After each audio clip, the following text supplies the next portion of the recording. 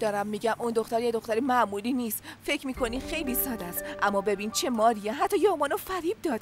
بوی پول دیوونش کرده دیگه. من می‌دونم چه نقشه ای داره. می‌خواد یامانو فورا به دست بیاره. ببین چطوری اینجا لونه کرده. بعد از عملی شدن نقشش ما رو میندازه بیرون. خدا نکنه وای بسه دیگه. اعصابمو خورد می‌کنی. خیلی بزرگش نکن. زحل گوشاتو باز کن. تو باید یامانو به دست بیاری. وگرنه بودن تو و من به عنوان خانمای این امارت غیر ممکن میشه می‌فهمی؟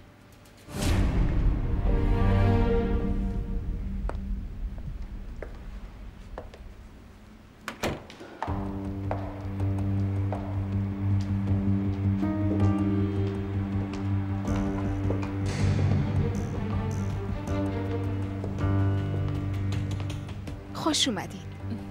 ممنون. زحل جان این سهر خاله یوسف. خوشحال شدم.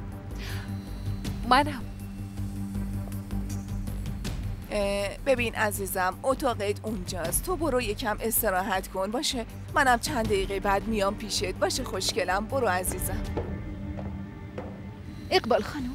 بگو عزیزم. نمی‌دونستم اون اتاقو برای خواهرتون آماده کردین. وقتی آقای یامان اونجوری گفت نتونستم چیزی بگم. اگه می‌خواین من وسایلمو از اونجا جمع می‌کنم. نه عزیزم این چه حرفیه؟ تو به حرف یامان گوش دادی نگران این چیزا نباش عزیزم. در ضمن بذار یه چیزی رو بهت بگم. خدا رو شکر که تو خاله یوسفی.